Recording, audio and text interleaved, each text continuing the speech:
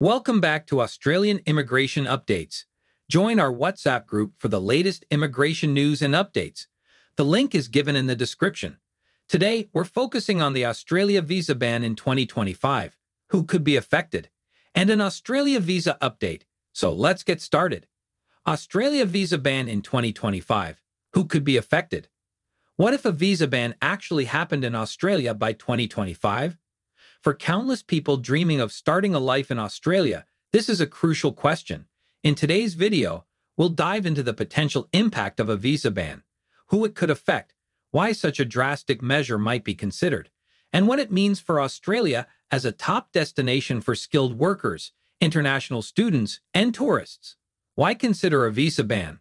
As Australia's popularity soars, its immigration policies are under greater scrutiny. Immigration has been a cornerstone of Australia's economy and social landscape for years. Yet, discussions are underway suggesting that, by 2025, major changes might reshape the country's visa policies. Could a visa ban actually become a reality? And if so, who would feel the effects the most? Understanding the driving forces behind change, Australia faces growing pressures, particularly from rapid population growth in urban hubs like Sydney and Melbourne. This boom has strained infrastructure, housing, and healthcare. Some experts argue that limiting or even pausing specific visa programs could help stabilize these challenges. By 2025, immigration may be more tightly controlled to manage urban density, driven by factors like political shifts, changes in labor markets, or even a global recession. Countries worldwide are reconsidering immigration to preserve resources for citizens, and Australia may follow suit. Who might be impacted most by a visa ban? If a visa ban was enacted, certain groups could feel the impact more than others. Let's break down the five groups likely to be most affected. Skilled workers. Skilled migration has long fueled Australia's workforce. A cutback could mean companies struggle to fill roles in it, healthcare, and other sectors. Certain fields, like nursing or engineering, might still see exceptions, but stricter rules could make it harder for those without highly specialized skills to enter. International students. International students contribute greatly to Australia's economy and cultural fabric. By 2025, student visas could face tougher restrictions, especially in crowded cities.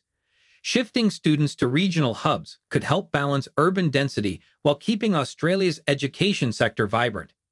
Key groups facing tightened restrictions, family reunion visas, Family reunification is a dream for many immigrants, but tightening policies could deprioritize family visas, focusing instead on labor-driven migration. This could delay or limit families' chances to reunite, as the government prioritizes economic needs over personal connections. Temporary work visas. Temporary work visas support crucial sectors like agriculture, hospitality, and tourism. A pause or reduction in these visas could mean workforce shortages in regional areas, yet some see it as an opportunity to boost employment for citizens. Refugees and asylum seekers. Australia's approach to refugees has always been complex.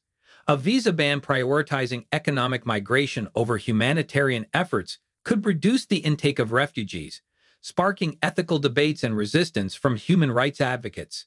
Is a total visa ban likely? While a complete visa ban may seem unlikely, Targeted or temporary restrictions could be more realistic. Immigration fuels key Australian industries like tech, education, and agriculture, making a total halt impractical. Instead, we might see policies that encourage regional migration, drawing newcomers to less crowded areas while still benefiting from their contributions.